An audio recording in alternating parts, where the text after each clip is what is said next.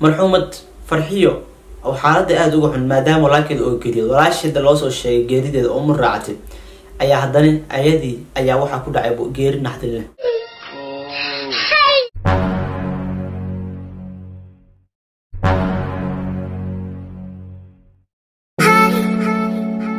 asalaamu calaykum waraxmatullahi barakatu walaala qaali ku xihan janalkiisa kii horusa bisha waxaan idin leeyahay ku soo dhawaada muuqaalka la xiisan haddii aan mucusubtaa furo kamle oo subscribe saar haddii se aa horan ugu xidhan jirto commenti iyo share. Lesti wadaag asxaabtada commentiga waa fikirkaaga like-tana waa haddii aad muuqaalka aad ka heshay. Waayahay sida muuqaalka sare aa ku soo aragtay maanta waxaa ka hadli doonaa dhacdo aad iyo aad u xanuun badan oo mudan in laga hadlo. Oo ay asxaabteeda iga codsaday dhacdadan aad dabagal ku soo sameeyo oo aan ka soo hadlo oo si fiican u faahfaahiyo maadaama ee haatadan la jooga baraha bulshada dhacdadan haysato oo qof walba oo damiir lane oo ka soo hadlay meel walbana dhacdadan la wareejinayo.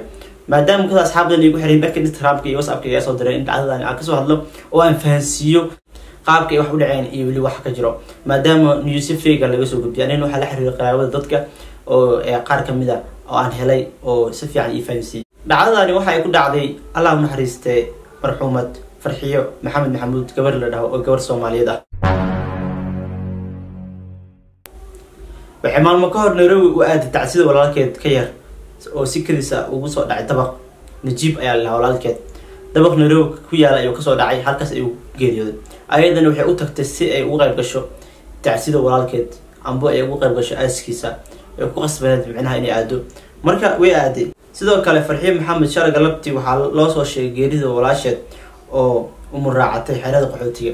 Markii yacni walaalkeed aaday nairobi ayaa waxaa loo soo sheegay haddana walaasheed oo sii umuraacatay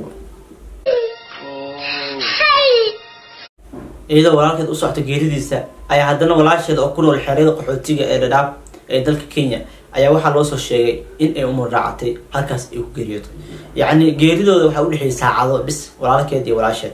Marxuumad farxiyo xaalada aada uga xun maadaama walaalkeeda oo geeriyood walaasheeda loosoo sheegay geerideeda oo umur raacatay ayaa haddana ayadii ayaa waxaa ku dhacay geeri naxdin leh. Iyada oo ku wajahan walaasheed oo ku geeriyootay dalka kenya gaar ahaan xerada qaxootiga ee dadaab xagga dheer ayaa waxaa dhacday ayadana in magaalada gaaris idoo mareyso in ay shil gaari ay ku geeriyootay. Subxaan allah walaalkeed ayaa daba ka soo dhacay. Aada ay isdhahday haddana walaasheed ayaa loosoo sheegay oo haddana umur raacatay. Markii walaasheed ay ku wajahneed ayaa shil gaari ayay ku geeriyootay oo ka dhacay gaariso. Inaa lilahi wa inaa ilahi raajicuun. Meesha waxaa ka dhacay saddex geeri oo isxixiga kulley waa wax qoran. Adduunkan wax aan qornayn kama dhacaan. Walaalkeed inuu geeriyoodo way qorneed. In walaasheed ay geeriyooto way qorneed. In ayadana idoo ku wajahan walaasheed ay sii geeriyootay way qorneed wallaahi hooyadood iyo aabahood waxaa isdhihi karnaa aad bay khasaare u qabaan saddex saddex marxuum ayaa halmar waayeen balse midda lama horaanka ayaa ah in geerida ay dhaceyso ilaahay qaraawadeeda ha ka siiyo iimaan samri iimaan ilaahay ka siiyo. Maanta xanuun aad iyo aada weyn ayay qaraawadeeda dareemayaan. Because waad dareemi kartaa markii saddex walaale ah xamar isxixiga inay dhintaan.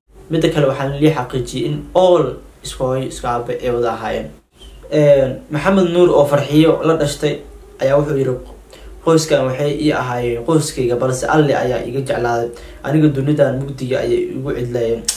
Ah waa qof iimaan qabo wuxuu dhahay qoyskan qoys muhiim ii ah oo indhahayga ayay ahaayeen balse alla ayaa iga jeclaaday. Waa wiil aaminsan geerida geerida weliga aamin because wuxuu ogaaday dee in qof walba uu dhimanayo wuxuu dhahay ilaahay iga jeclaaday adduunkan anigu cidlayaan dhahay walaal iska samra ayaa ku dhihi lahay. Qof walba uu dhimanaa kul nafsin daa'iqatulmood ilaahay muusan ayadaas ma uu soo deji lahayn haddii qof walba uu dhibanin sawirka meesha a ka aragtaa shaashada waxaa ka muuqdo najiib iyo farxiya walaalo ah. Laakiin sawirka gabadha kale ee umur raacatay ee ayaga dhalatay way noo suurtageli weysay in aan helno sawirkeeda sidoo kale waxaa ii suurtageli waaya inaan helo qaabkay u kala waaweynaayeen amba u kala horeeyeen maadaama ool walaale ay ahaayeen farxiyo najiib iyo gabadha kale umur raacatay balse waxaa la sheegay in farxiyo ay curada ahayd maadaama marka walaalkeed geeriyood ay u carartay marka walaasheed geeriyood ay u carartay iyada ayaa curada iyada ayaa la dhahay oo familkeeda ayada ayay wax ka sugi jireen. Macnaha dhanka familka hooye ka soka iyada ayaa maamuli jirtay ciyaalka oo kala hayn jirtay oo kala hagi jirtay. Subxaan allah subxaan allah oo sii dhamaanayo waxaas dhihi karaa waa dhacdadii ugu xumed ah maqlo ani saki ahaanteeda dhacdooyin kale way jiraan balse famil saddex ruux ah ka kooban oo hamar dhintay aniga tutus duwanti ma arkin waana wax aada iyo aad mataqaanaa looga naxo looga argagaxo.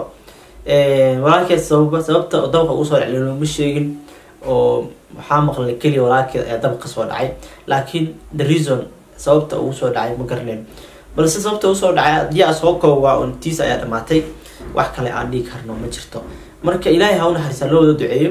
Walaasheedna waxaa la sheegay in xerada qaxootiga xagdheer ee umuraacatay yacni markii dhali rabtay ayay umuraacatay haweenkani waa taqaaniin inta badan way umuraacdaan umuraacashada way iska jirtaa.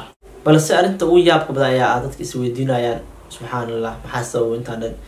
Alle qoraalkiisa ayaa sababay. Waxaan waa la iskugu talagalay. Laakiin waxaa la najiib geeriyooday saacado kadib iyada ayaa baxday iyadoo isdhes najiib u soco ayaa haddana walaasheed oo joogta xagdheer kenya ayaa haddana umuraacatay way soo jiirootay dhanka xagdheer maadaama ay u dhaweyd xagdheer u socotay haddana ayadii ayaaba shirku sii dhimataba subxaan subxaan allah subxaan allah wallahi bilah waa dhacdo aada u muruga leh walaalkeed maxamed inkastoo muuqaalkiisa aan helin aada buu ugu xumaada wuxuu dhahay familkan waa familkeyga waa dadkii aan ku tashan jiray waa dadkii ma garanaysa indhaha ii ahaa balse wuxuu dhahay arrinta ay loogi karnaa uu dhahay alle ayaa iga jeclaaday. Waa sax. Waa inaad geerida aaminta alle ayaa kaa jeclaaday. Qofka markuu dhimanayo dee ilaahay ugu talagalay. Waqtigiisa ayaa dhamaaday. Marka waa inaan geerida aaminaa. Haddii adaadi ka waran sabab maxaa ilaahay qofka igaga qaadaya qofkaa waan jeclay? Because adigana waa ku xigtaa. Qof walba dunida dul saaran wuu dhimana halle ayaa haraayo. Halka haraayana waa alle. Maahanay bili-aadankan inaa ujeedin way dhimanayaan? Marka familka ha loo duceeyo waxaa u rajeynaya aniga sika-aanteeda saddexda walaalo farxiyo injiib iyo gabadha kale maadaama hooyada iska aabi yihiin. Waxaa rajeynaya in jannadii ay u noqoto caloosha hooyadooda marka hore ka soo baxeen oo kaleeto inay jannada ay ku midoobaan ayaa u rajeynaya okay guys waa ku mahadsantiin daawashada muuqaalkan. Waxay noo balana muuqaalkan muuqaalkiisa xiga iyo weliba anigu caafimaad qabno